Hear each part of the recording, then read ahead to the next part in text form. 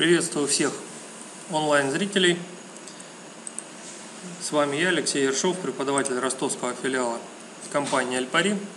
Сегодня, как всегда, рассмотрим перспективы на ближайшие несколько дней, которые можно будет совершить в рамках внутридневной торговли.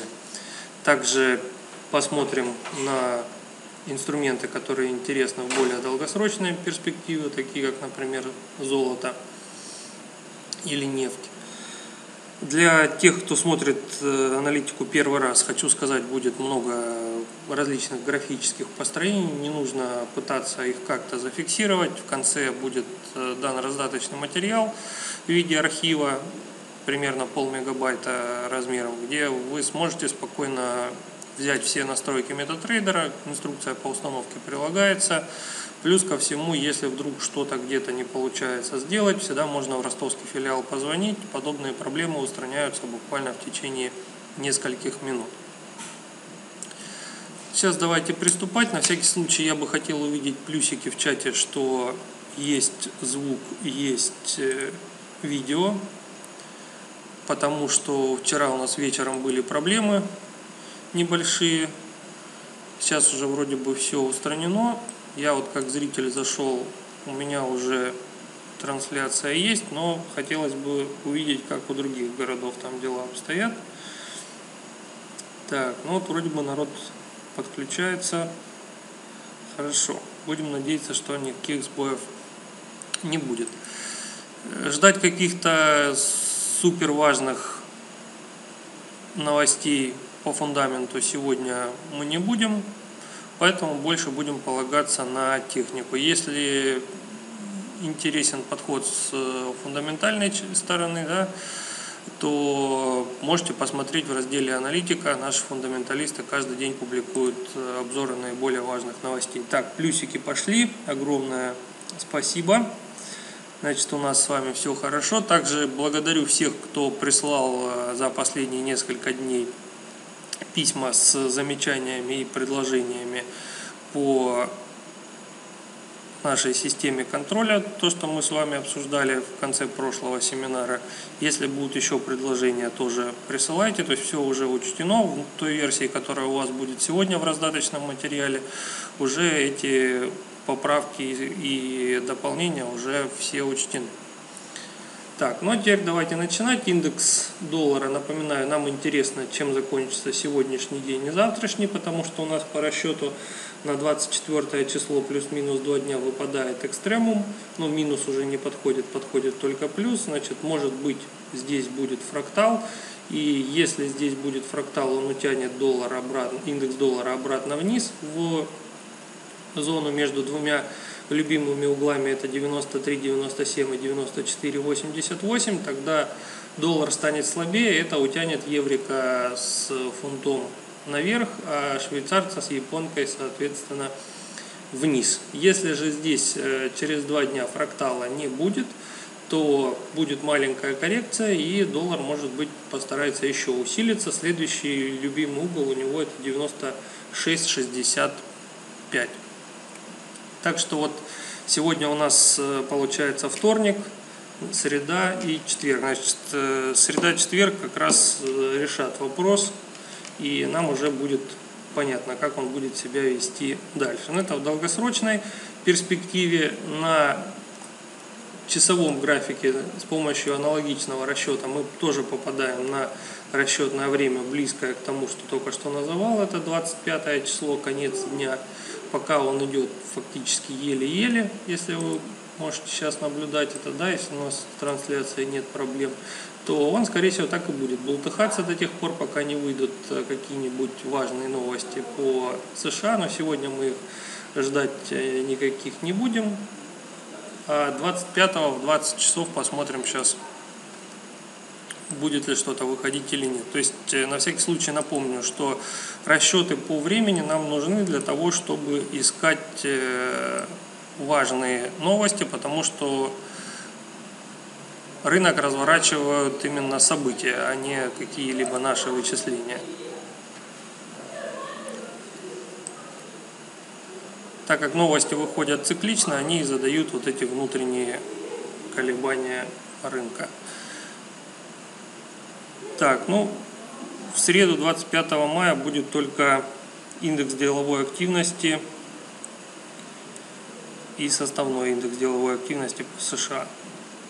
И все. Ну, посмотрим. Возможно, он как-то и повлияет, но к новостям с тремя восклицательными знаками они не относятся. Так, вижу первое сообщение. Михаил пишет, сегодня, как и вчера, никаких важных новостей нет. С утра э, глава РБА уронил австралийцы Киви. Ну, я видел там еще золото. Свистопляску устраивало. Ну, я лично в это время спал, поэтому здесь, я думаю, не все этот момент успели проследить. Ну, сейчас до них дойдем.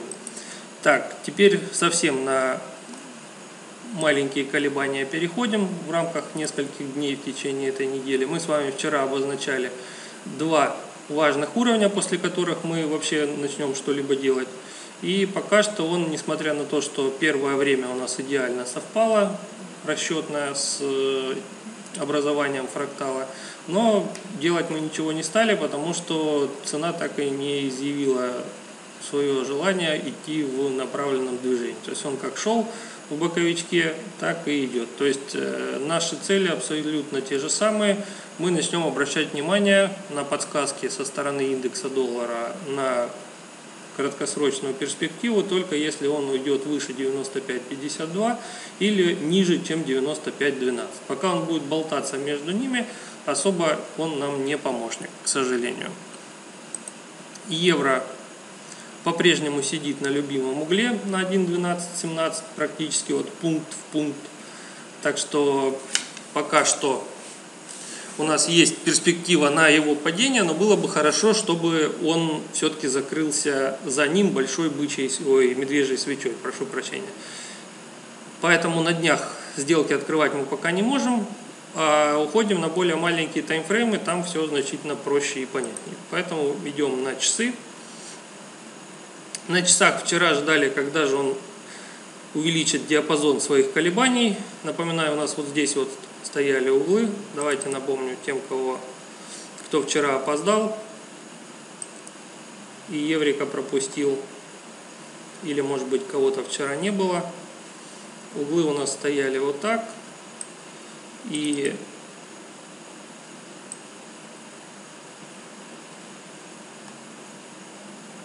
Сигнала у нас по сути не было, потому что они уже на тот момент, когда мы обсуждали, они пересеклись. Поэтому умничать по истории смысла нет, потому что это прибыли не перене... нам никакой не принесет. Поэтому переносим на новые экстремумы, которые только что образовались, и ввиду достаточно низкой амплитуды колебаний, которая сейчас есть на рынке, нет каких-то факторов, которые вот в ближайшие часы могли бы сильно это дело трухануть. Так у меня комп опять выкаблучивается.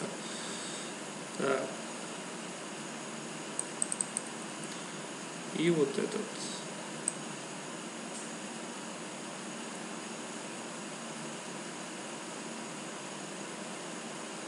То есть углы тоже пересеклись поэтому помощи с их стороны мы никакой не увидим. Плюс у нас получается сужение диапазона колебаний идет. Поэтому, если мы что-то и будем делать, мы будем делать либо с классической точки зрения, после того, как он преодолеет э, ближайшие сильные уровни поддержки сопротивления, это тем, кто заморачиваться сильно не хочет, да, это или вот этот, или вот этот. Сейчас озвучим, это нижний, то есть поддержка 1.1170 9 и сопротивление 1.12.428. Ну, более точно мы с вами рассмотрим это вот на вот этом графике, когда дойдем до квадрата 9. Сейчас пока что именно в приближенном виде. Рассматриваем. На всякий случай напомню, что еврик все еще находится в состоянии падающего движения, которое замедляется именно, я думаю, помните, да, все вчерашние ход рассуждений. Вот угол замедления, до него он еще не дошел, и если евро собирается падать дальше, то мы с вами увидим очень сильный импульс вниз. Если же нет, он так медленно и будет ползти, и когда зайдет за вот этот угол 1-2, значит все, данная модель уже больше нам не интересна. Ну, она дала уже много достаточно сигналов, поэтому она свое уже, в принципе, отработала. Так, фунт стерлингов. Вот вчера с вами обсуждали, что будет флажок или вымпел еще раз вниз долбанет. Даже успела сделать сигнал не только с э, простых банальных рассуждений, но еще и когда мы угол сюда ставили, да, то есть вот здесь был пробит перенесенный 1.1, и он еще раз сбегал вниз, после этого сделал дивер, поэтому те, кто стояли еще с самого верха, стопик еще поближе можно пододвинуть прямо на линию Ганна. И вполне возможно, пока мы сейчас будем с вами в течение этого мероприятия разговаривать, вас уже в плюсике выкинет отсюда. Тем, кто в рынок э, не вошел ни вот здесь, ни вот здесь, ну, соответственно, ставим углы так же, как у меня, и ждем до тех пор, пока он какую-нибудь из них пробьет. У фунта пока что модель краткосрочный рост с замедлением. То есть он попытался выровнять скорость, у него 19 мая это даже получилось, но потом опять замедление, и если доллар станет сильнее, он его, соответственно, дальше вытянет вниз. Ну, плюс еще будем смотреть, что там в плане внешней внутренней политики Великобритании. Там они тоже периодически воду мутят. Так, э, швейцарский франк вообще боковичок последние несколько дней, поэтому пока что его трогать не будем. То есть было хорошее восходящее движение, потом очень маленькая амплитуда колебаний на протяжении нескольких э, дней. Когда дойдем до квадратов, там будет более все понятно. А так получается колебания в рамках 46 пунктов, ну это уже э, флет, можно сказать, такой с заглавными буквами просто. Поэтому здесь особо ловить нечего. Вот когда зайдет за верхнюю или за нижнюю вершину, вот тогда будем его ловить уже дальше. Так, э, вчера несколько человек уже написали, что японку вниз поймали, хотя сделки были достаточно агрессивные в плане того, что модель у нас, напоминаю, на рост, но последнее время она находилась в состоянии ускорения, вот она вернулась обратно к углу 1.1 и двойной дивер ее в принципе вот сейчас остановил углы перенесли, сейчас она пытается пробить снова перенесенный 1.1 и продолжить замедляться, то есть еще раз сбегать вниз. Любителям иены будьте внимательны. Сразу после окончания нашей с вами беседы вполне возможно вот здесь вот будет сигнал на продажу, если свечка так и закроется ниже перенесенного 1.1. Так, вижу, появились еще сообщения. Так, Михаил пишет, фунт сейчас очень зависит от итогов предварительного голосования граждан Британии. Кто за ЕС, кто против. На прошлой неделе был яркий этому пример, когда некая компания объявила, что 55% граждан за союз с ЕС, 37% против. Остальные воздержались от ответа. После публикации этих итогов фунт за 4 часа вырос за, на две фигуры. Но именно про это я и говорил, что очень важна именно политическая сторона вопроса, какой курс они для себя дальше выберут, это и будет являться фактором для движения фунта. Но это лучше более детально еще посмотреть э, в обзорах фундаменталистов наших. В частности, я периодически советую почитывать э, то, что пишет Анна Бодрова, потому что она пишет очень коротко и всегда очень аргументированно. Ну, это так, субъективный взгляд. Там специалистов достаточно много, каждый из вас выберет именно того, кого больше понравится читать. Так, здесь, я думаю, ясно с японкой. Дальше смотрим на новозеландцы. Новозеландец, вот то, что мы с вами обсуждали вчера, вот прямо сейчас происходит. Он зашел в зону условного касания, Сейчас давайте поближе пододвину, чтобы понятнее было.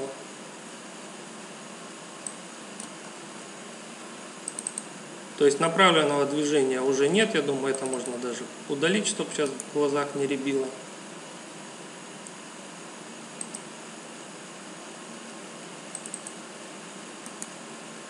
как говорят, самый, верхний, самый верный прогноз, куда пойдет рынок, это рынок пойдет вправо.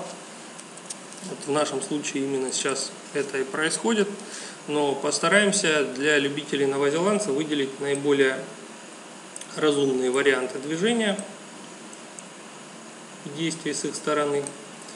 Мы зажали его в канал, может быть немножко непривычный для некоторых из вас. То есть сейчас он находится в зоне условного касания, поэтому можно выше верхней пунктирной границы поставить buy stop с take профитом вот здесь. Давайте даже цифры назовем.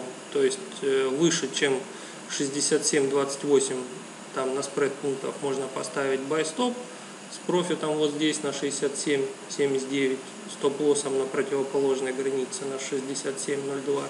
И аналогично здесь же стоит sell стоп на 67.02, стоит профитом на 0.66.506 и стоп-лоссом там, где открывается buy стоп на 67.28. В результате в какую сторону он выйдет, в ту сторону и будет происходить э, движение. Простой пример из того, что было в недавнем прошлом, но, к сожалению, мы этим не успели воспользоваться, да, еще не идентифицировали этот момент, то, что рынок впал в боковое движение. Вот он зашел в зону, мы бы поставили отложенники, он полез наверх, и через некоторое время мы бы оказались в плюсе. И в отличие от всех э, классических книжек, то, что описывают боковое движение, далеко не факт, что он дойдет до противоположной грани канала, что здесь и произошло. Поэтому мы будем ловить половинку движения и соотношение прибыль-убыток здесь 2 к 1. Схемку я вам кидал, поэтому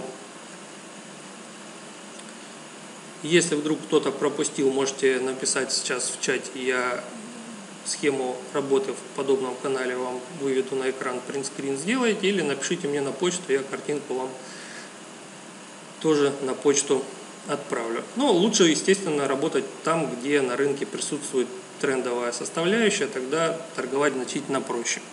Так, вижу уже по сделкам первые сообщения. Михаил пишет, Киви вчера открыл продажу. Пока стою в плюсе с цены 0,6795. Стоп уже в безубытке. Так, ну замечательно. Возможно, даже и еще заберете. Так, э, австралиец Австралиец э, по-прежнему упирается, хочет идти с ускорением, несмотря на то, что попытки замедлиться были. Вчера даже был еще один маленький сигнал на продажу. Вот прямо сейчас было пересечение, не путать только его с сигналом, потому что его запрещает осциллятор. Давайте покажу, где был вход после вчерашнего нашего обзора, да, то есть угол у нас стоял вот здесь, да, вот произошло пробитие, свечка закрылась за углом, и мы поехали собирать прибыль, да, вот сейчас осциллятор показывает окончание импульса, и хорошо бы уже выйти из сделки или, по крайней мере, стоять э, или стоп-лосс в плюсе, или в безубытке.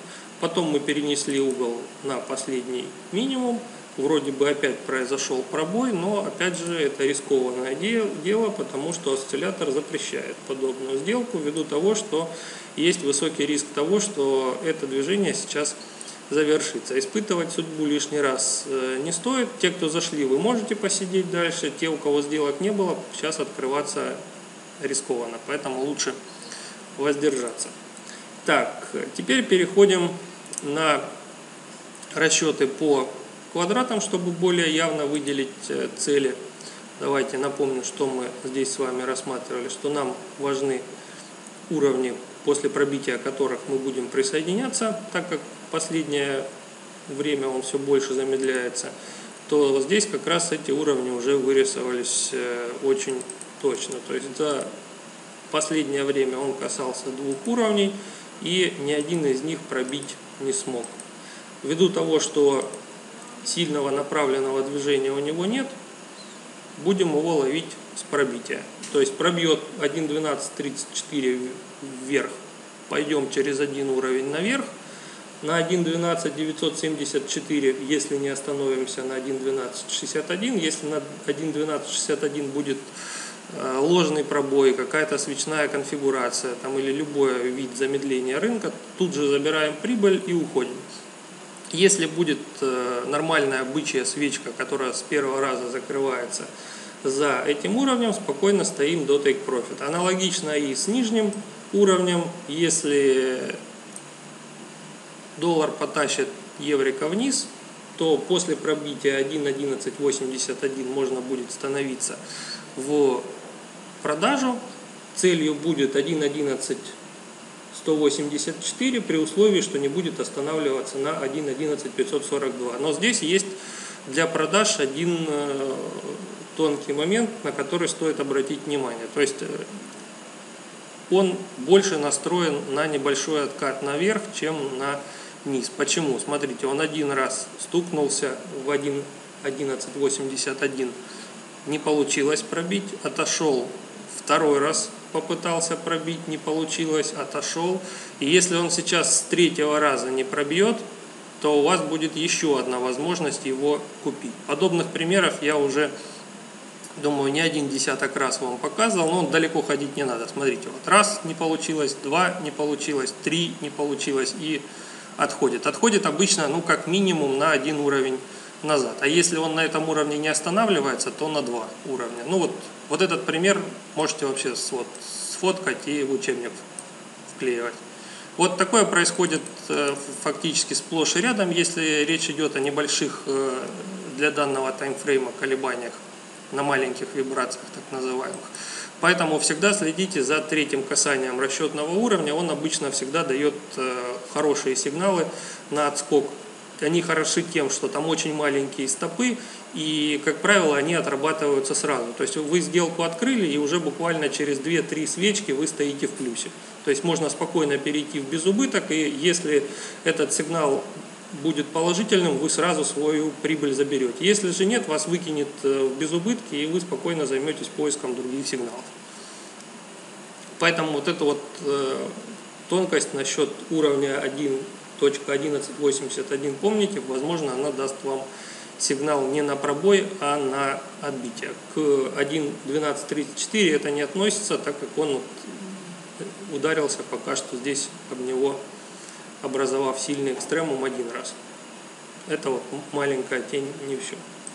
Так, для любителей поторговать на маленьких э, таймфреймах у нас получился пятиугольник по времени – на текущий день, ну, два времени уже отработались, совпали. Сейчас у нас э, наступит 9.30, это ближайшее расчетное время. Если будет образован фрактал, а скорее всего именно так и будет, так видно уже, да, как он вырисовывается, то будет небольшой откат вниз, но уже в него вряд ли успеете войти, поэтому придется ждать, скорее всего, следующего времени, это 14 30, либо же преодоление одного из вот этих вот уровней. Так как он начал разворачиваться немножко раньше, чем мы ожидали, поэтому в догонку за рынком открывать сделки нет смысла.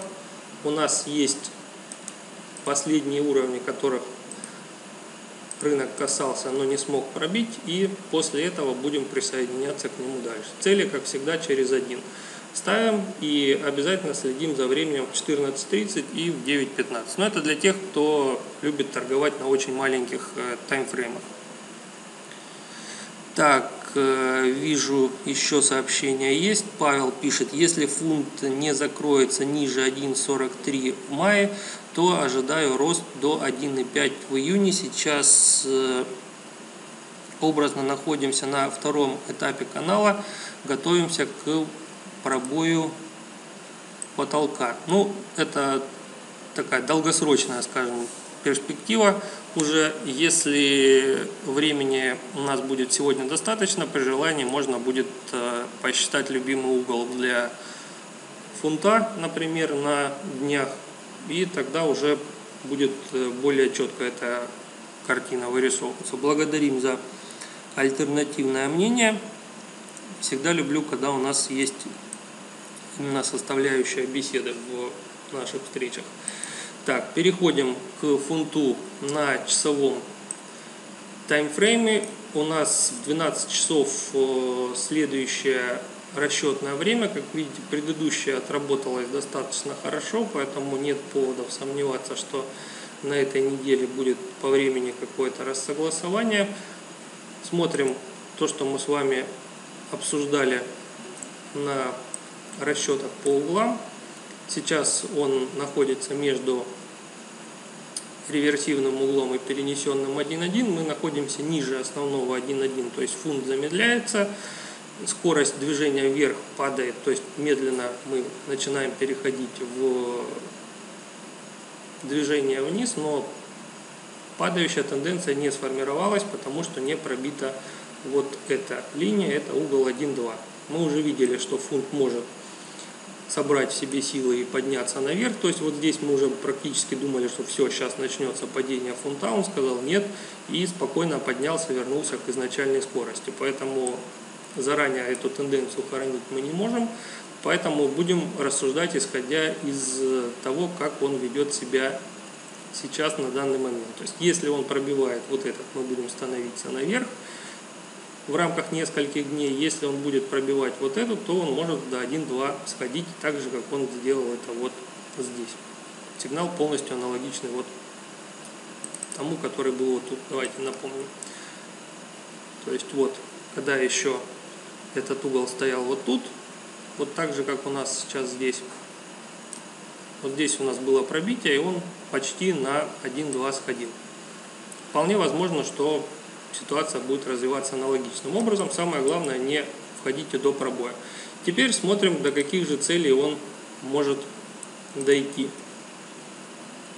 Последнее время он бился именно в 1.45 47 и в 0.44 574. Так как никого из них за последний таймфрейм он пробить не смог, а вернулся обратно в диапазон. Давайте я эти уровни выделю как на текущий момент для нас э, более важные. И после пробоя будем присоединяться. Отсюда сразу вырисовываются цели. Да? Если он пробивает верхний, через один цель будет 1.46 528, причем она почти идеально совпадает с тем экстремумом, который был 19 числа. Если он пробивает вниз и пойдет к углу замедления 1,2, то целью будет 1,43 522.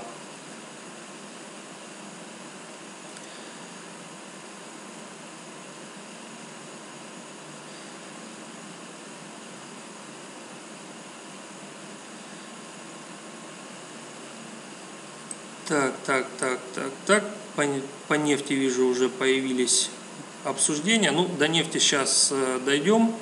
Она уже несколько раз пыталась выйти за последний любимый угол по цене, и у нее это пока не очень хорошо получается. Так что сейчас, скорее всего, мы увидим отставание по нефти. Но буквально минут через 15 мы до нее дойдем, может быть даже быстрее.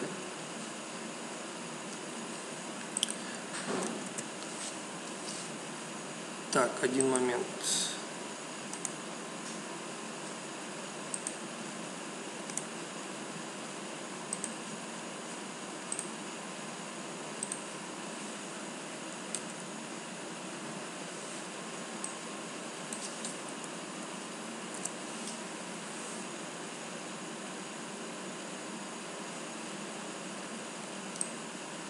Так, вот вижу альтернативное мнение по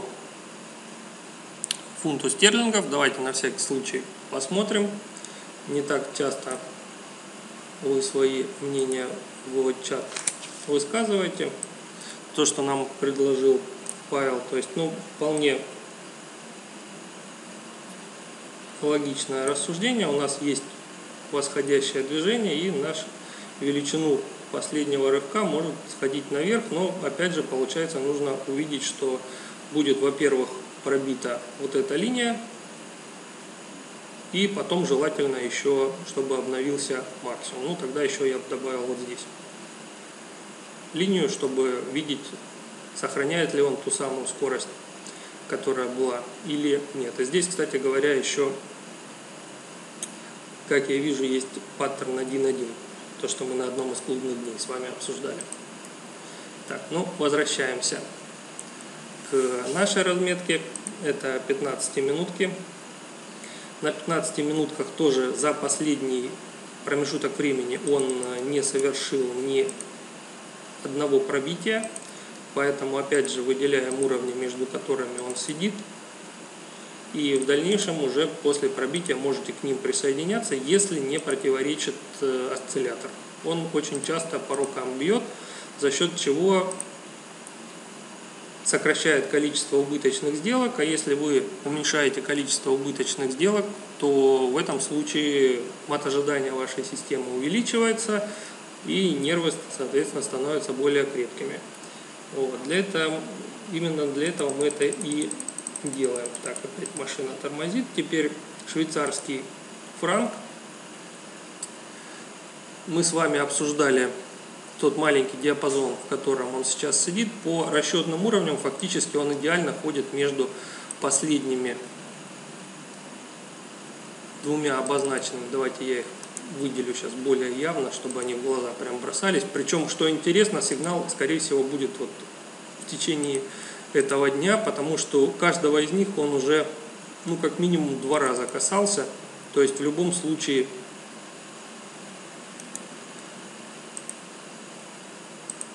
на швейцарце можно будет денег забрать, как только он зайдет за пределы вот этого диапазона. Цена у вас перед глазами, нижняя граница это 98 83, верхняя 99, 18. Внутри лучше его не трогать. Скорее всего, какие-либо телодвижения будем от него ждать после 11 часов.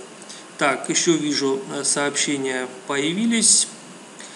Так, э, Михаил пишет, в пятницу Ливия возобновила поставки на мировой рынок. Поставки нефти из э, Ливии последовало после предварительного согласования об объединении правительств на Востоке и в Триполи так дергается чат.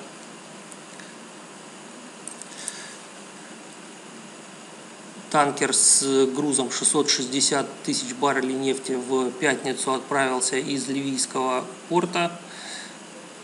Так вот, а национальная нефтяная компания Триполи. Так, так, так, так, так. Ну, дальше уже беседа идет. Ну, до нефти сейчас дойдем. Благодарю за информацию. Так, теперь японка идет на часах.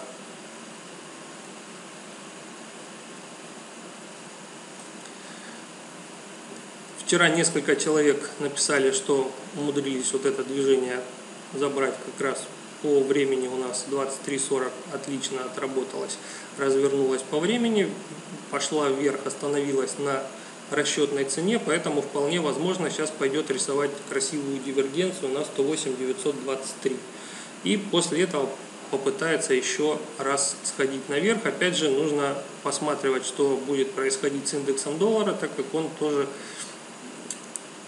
может подсказать о том, что она будет делать дальше. Ну, на мой взгляд, все-таки сделки на продажу доллар-иены рискованные, это могут позволить себе те, у кого достаточно много свободного времени, чтобы там хотя бы каждый час поглядывать, что происходит, чтобы вовремя из сделки выпрыгнуть. Если вы привыкли стоять несколько дней в сделках, то это не для вас будет вариант. Австралиец. Мы ждали, что он пробьет или 0.72-135, или 0.72-505. Ну вот пробил собственно, 72-135. Даже мы увидели формирование экстремума именно в заданное время, но я думаю, большинство спало в этот момент в час ночи. Да? Вот он пошел вниз, и после этого дошел до ближайшей цели, это 71 949. Те, кто отложенники ставил или заходил вручную, кто не спал, советую поставить или без убыток, или спокойно забрать свою прибыль и уйти прямо сейчас. Почему осциллятор уже предупреждает, что импульс заканчивается, во-вторых, мы видим, что цена затормозилась, а на промежуточной цели никаких торможений у рынка быть не должно, потому что с каждым следующим баром аналогичным возрастает вероятность того, что будет какой-то откат, который пойдет собирать наш безубыток. А это не самый хороший вариант развития событий для нас. Так, новозеландец. Новозеландец идет вниз и уже практически отработал движение до цели 0.66 982, так что здесь уже поздно что-либо делать. Тому же осциллятор говорит фактически то же самое. Поэтому до вечера про новозеландца забываем, смотрим, как он будет себя вести около 18.20 по времени метатрейдера. Если там будет образовываться фрактал, то можно будет рассчитывать на откатное движение наверх до 67.303. Тем, кто торгует внутри дня, это где-то 32 пункта потенциальной прибыли будет. А тем, кто за мелкой прибылью не бегает, можете подождать, потом именно с макушки еще раз сходить вниз после того, как подтвердится сигнал на вход. Канадец. Канадец все-таки прополз, можно сказать, за 1.31 576. Раз у него это получилось, то при условии, что в 11 часов он вниз не пойдет, так как вы видите, у нас время уже расчетное буквально наступило. Если он вот в ближайшие 2 часа вниз не пойдет, то целью у него остается 1.32 672. От текущей цены это ну, почти 100 пунктов. Так что любители канадца, будьте внимательны. Вполне возможно, что после окончания нашей встречи будут интересные моменты. Золото на днях пока что идет вниз, и даже если она спустится где-то к 1231.46, это будет э, не повод для огорчения тем, кто собирался остановиться на покупке. Просто модель пока что затягивается в своей отработке. Мы буквально можем ждать спокойно, даже не заморачиваясь, до 24.06. Это почти еще месяц, даже ровно месяц, день в день. То есть она вот так вот может тут болтаться каким-то образом. Мы просто не будем совершать долгосрочных сделок, при этом на часах э, и даже на 15 минутках торговлю никто не отменял. Просто именно долгосрочные сделки, которые можно держать там от нескольких месяцев до нескольких кварталов, пока что у нас остаются только в рамках гипотезы, которая еще не подтверждена.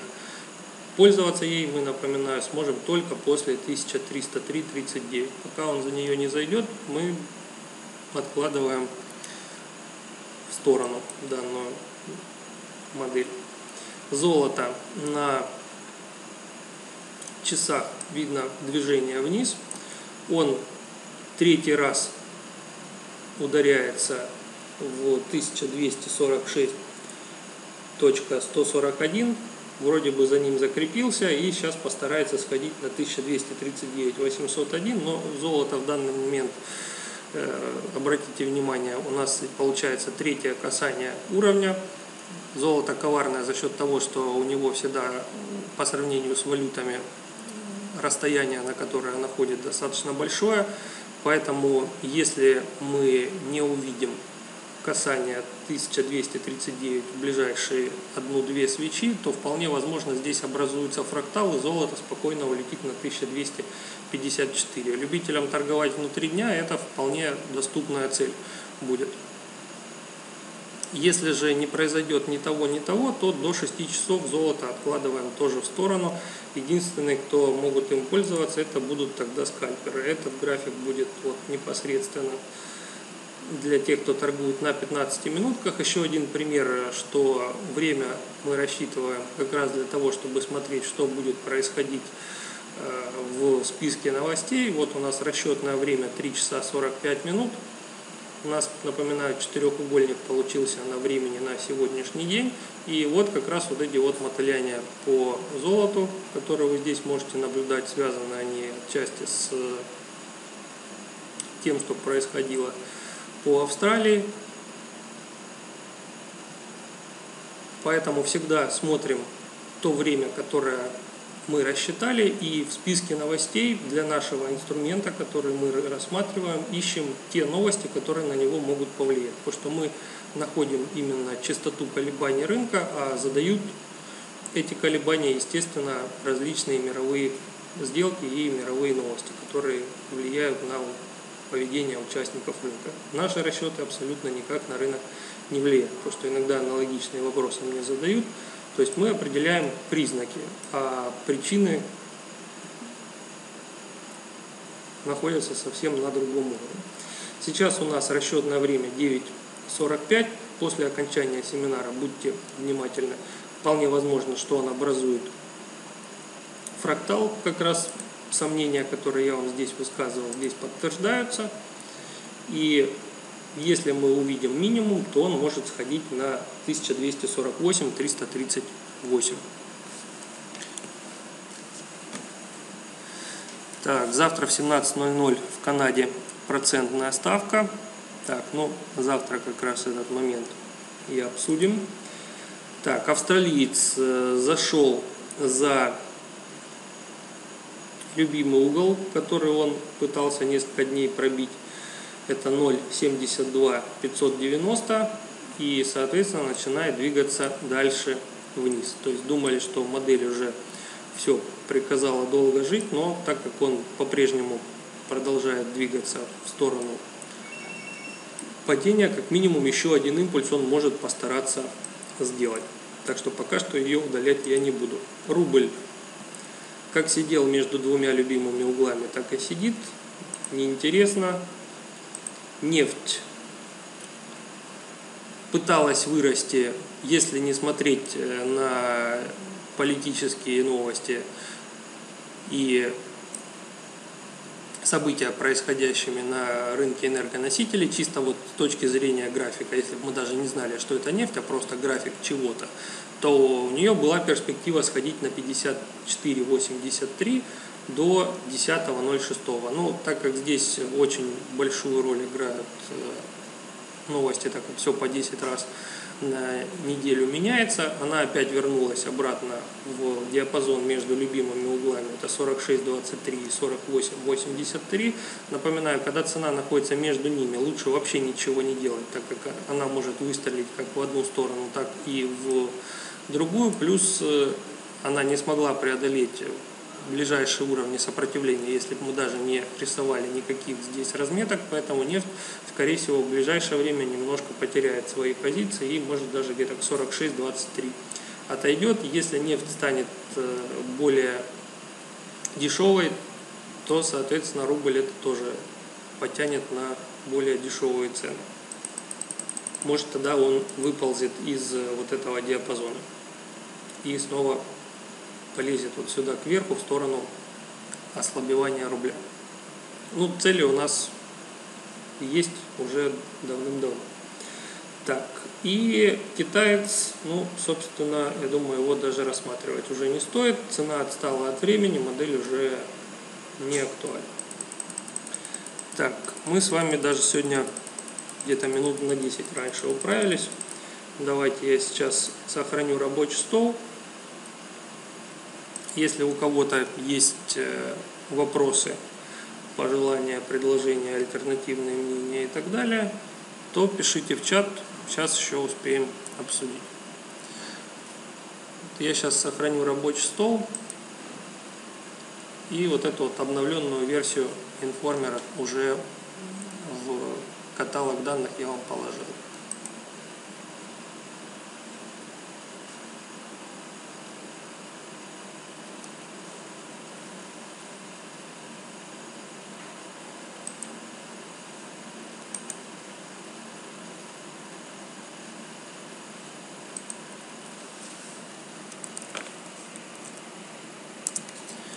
Так, называться будет архив 24.05.2016.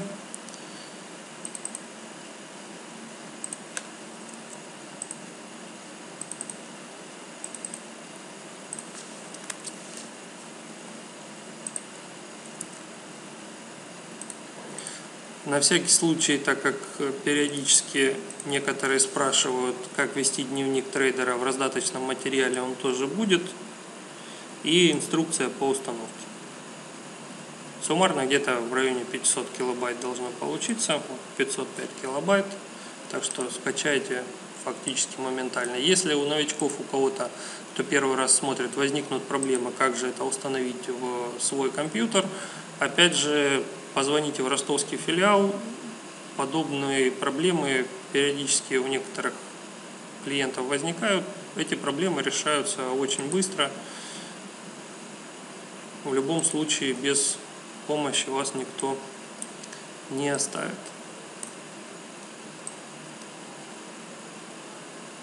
Если смотрите семинар не сначала, то примерно через э, минут 30-40 запись появится на YouTube на нашем канале.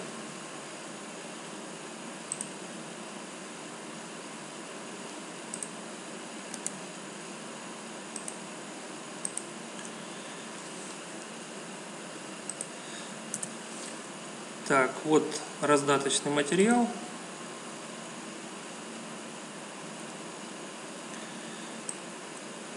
Так, вижу несколько сообщений появилось. Сейчас посмотрю, что написали.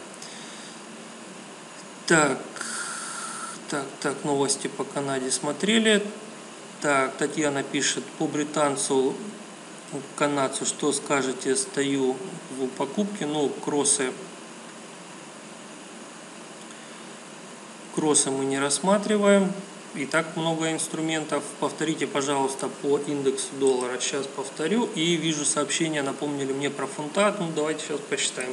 Если у него любимый угол существует, сейчас тогда его найдем. Время у нас достаточно. Если что, я еще учту тогда это.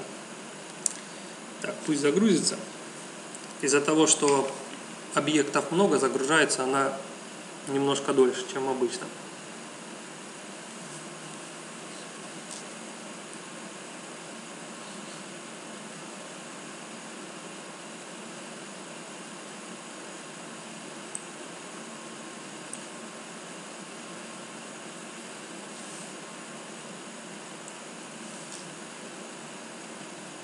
Насчет индекса доллара, пока грузится все это дело, у нас сегодня расчетное значение по времени погрешность, напоминаю, две свечки. Когда погрешность две свечки нужно обязательно учесть, пока они обе не закроются.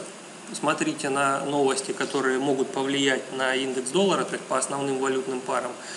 И вполне возможно, что будет образовываться максимум. Если максимум действительно в это время образуется, индекс доллара сходит вниз, и это, соответственно, ослабит доллар, что потянет еврика с фунтом наверх, а иену со швейцарцем вниз. Так, я обещал посмотреть фунта на днях, давайте посмотрим. Заодно отвечу на вопрос тех, кто спрашивал, как считать любимые углы. Те, кто только недавно к нам подключился, давайте, наверное, покрасим это еще красиво как-нибудь.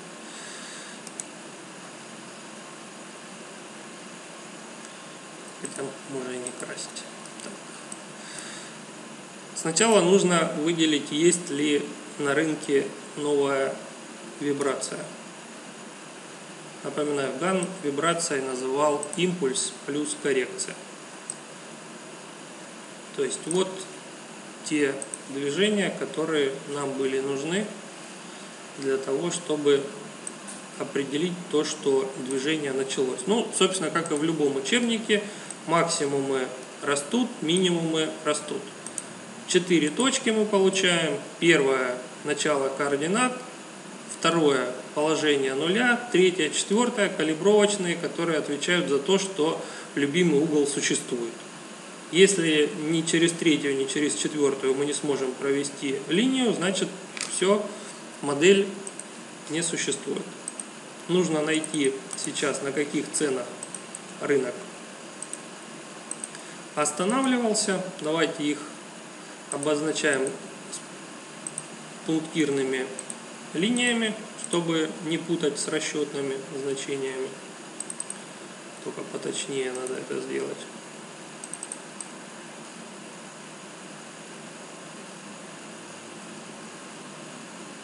Вот так. Дальше.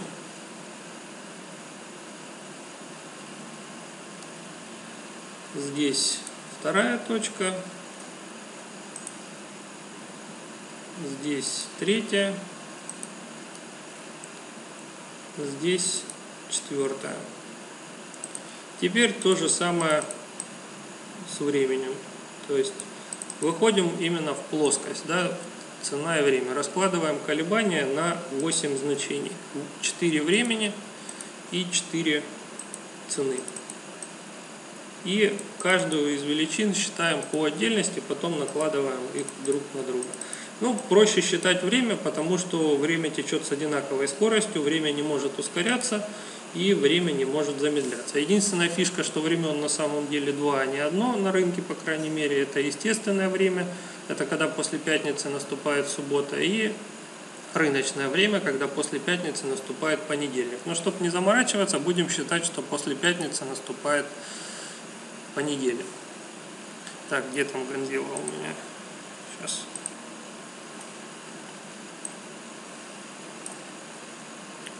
Теперь давайте настроим, что нам нужно считать. Так, мои стандартные настройки я не хочу портить, поэтому давайте возьмем вот так. Расчет не по цене, по времени. Когда у нас там началось?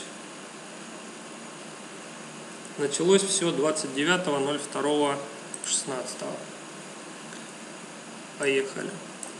29 02.2016 расчет ведется так, пардон, не на время, а на дни 29.02.2016 инкремент 1 единица измерения дни хронометр нам не нужен потому что у нас не настолько точные вычисления транспортир отнормирован так мы работаем на прерывном времени, когда после пятницы наступает суббота, и желательно видеть год, чтобы адекватно даты можно было отмечать. Так, вот первая точка у нас есть. Следующая, вторая точка, которая будет отвечать за положение нуля, это 18.03. Ищем, где оно. 18.03 лежит на одной из основных диагоналей и отмечаем, где теперь будет положение нуля градусов. Вот так. То есть нолик теперь вот здесь. Все, откалибровали систему. Теперь остается нанести третью, четвертую точку, которые будут отвечать за поиск любимого угла.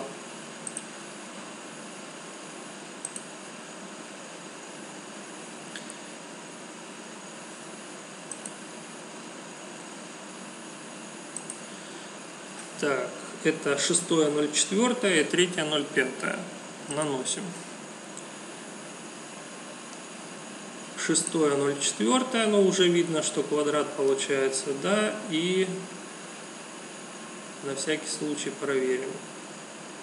И 3.05. Ну, тут без вариантов. Фактически идеальный вариант решения. Наносим фигуру так, чтобы один из, одна из линий совпала с нулем и видим идеальный вариант пересечения 6.04. Только давайте желтеньким подкрасим, чтобы было видно, что это не теоретические изыскания. И даже, собственно, второй является погрешностью всего лишь в один день. То есть можно будет нарисовать второй угол при желании, потому что по сути углов два получилось. Один точный, другой с погрешностью. Ну, теперь остается раздуть это все, например, до конца года и нанести расчетные значения. Ну вот, давайте на год вперед сделаем. Так, тормозить раз. Вот, до 31 07.17 года. Сейчас я сдвину на другой монитор, чтобы я не перелистывал с одного на другой. И нанесем теперь это на, на график.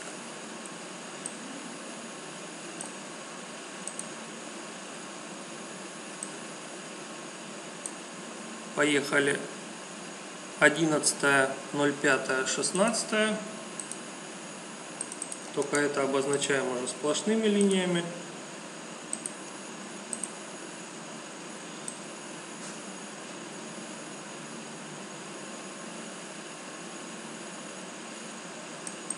Так, с погрешностью две свечки здесь попали. Уже первые признаки того, что угол существует.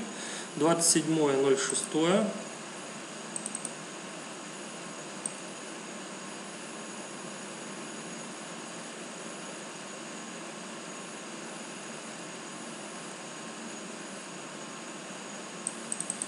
есть 23.08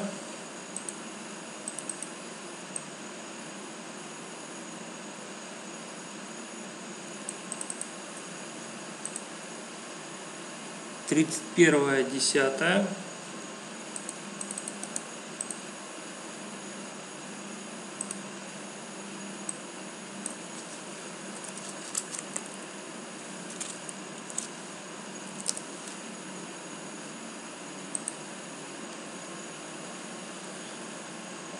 восемнадцатое ноль первое семнадцатое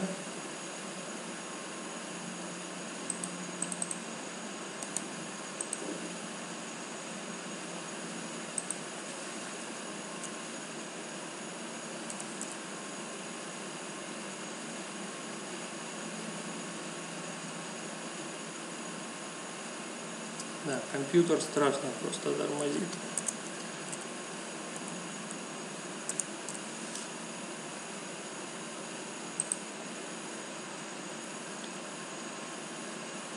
Так, ну давайте тогда задачу сократим.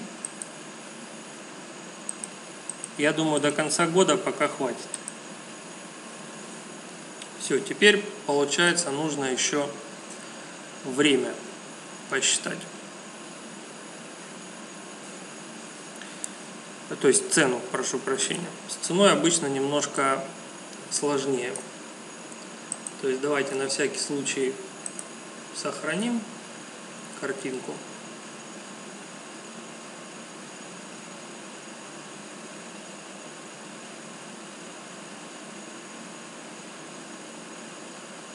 Я обычно всегда расчеты сохраняю. Так, сейчас переименовать фунт.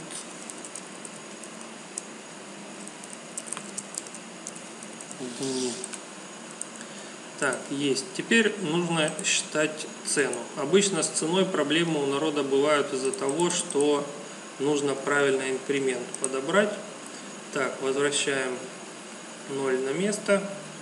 И остается посчитать, с какой цены мы начали считать. Начали мы с цены 1.38 418. Возвращаем ее на место. 1, 38, 418. Есть. Теперь нужно определить инкремент. Я напоминаю, что есть маленькая хитрость, как инкремент можно искать. То можно взять атр и от атр взять десятую часть, и именно с этого момента начинать искать значение инкремента. Здесь инкремент был равен 0.0167. Возьмем десятую часть.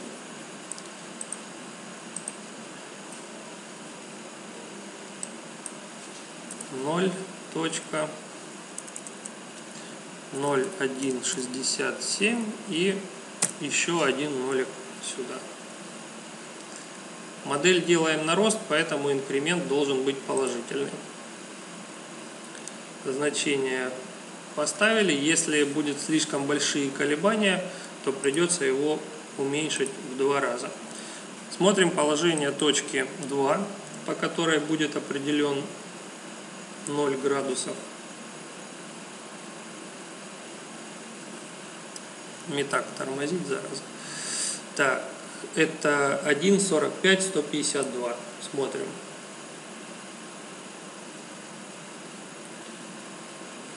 Один сорок пять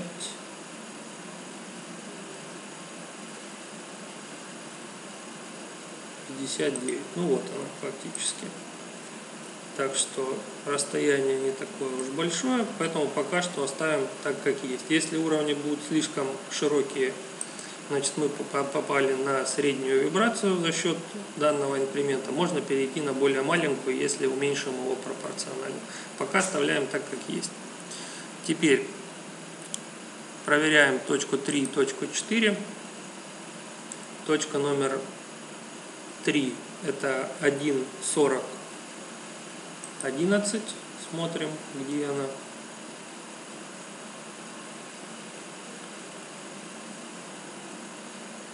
Получается она чуть-чуть выше, чем вот это значение. Поэтому у нас приближенный расчет нас это устраивает. Буквально в три пункта погрешность. И следующий момент это точка номер 4 это 1.47 657. Ну, грубо говоря, 1.47 66. Смотрим. 1.47 66. Вот это самое близкое, так как погрешность в 6 пунктов всего лишь. Здесь получается будет либо квадрат, либо треугольник, непонятно, сейчас проверим. Ну, визуально, по крайней мере. Ну да, это треугольник. То есть вот положение нуля, делаем фигуру наложения, она проходит через 40. 0,8, значит любимый угол будет вот Остается только достроить значение, стоящие вдоль него. И поехали. 1,40 2,92, даже 1,42 927. Так, я теперь это перенесу на другой монитор Ганзилу, чтобы мне смотреть удобно было.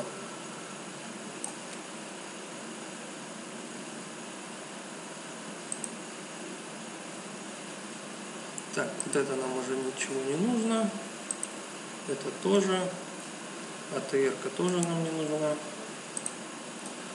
Теперь начинаем строить линии. 1.42 927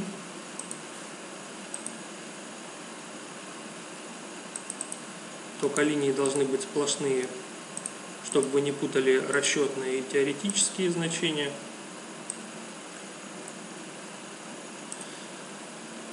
Так, 42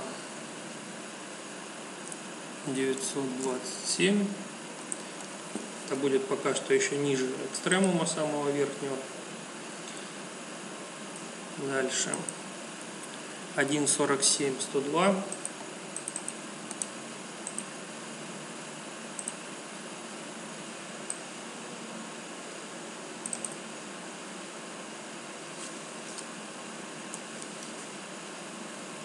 Да ё что ж такое? 47, 102. Есть, кстати говоря, около расчетного, то есть около теоретического значения получилось дальше 1.52 613. Это уже вот тот, который еще пока что не наступил, если фунт расти начнет.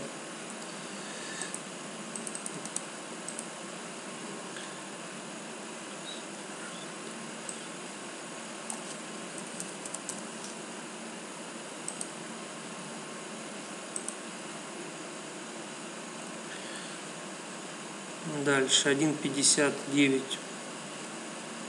46.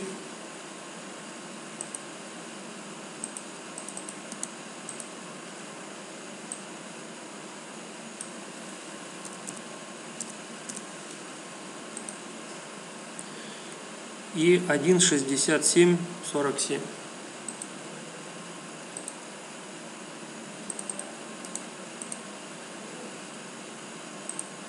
Но ну, я думаю, этого пока будет достаточно. 67, 47.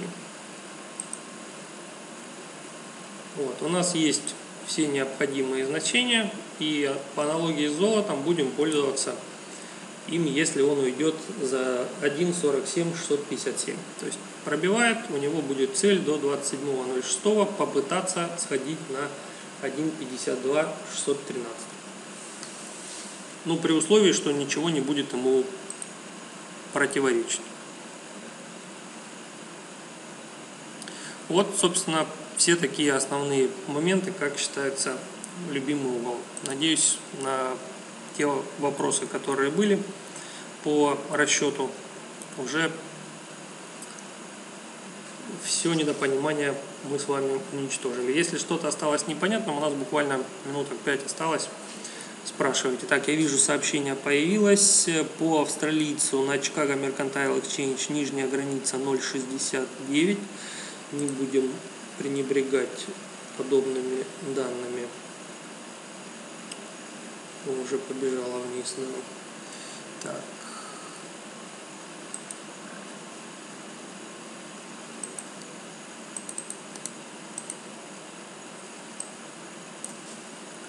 Шестьдесят девять.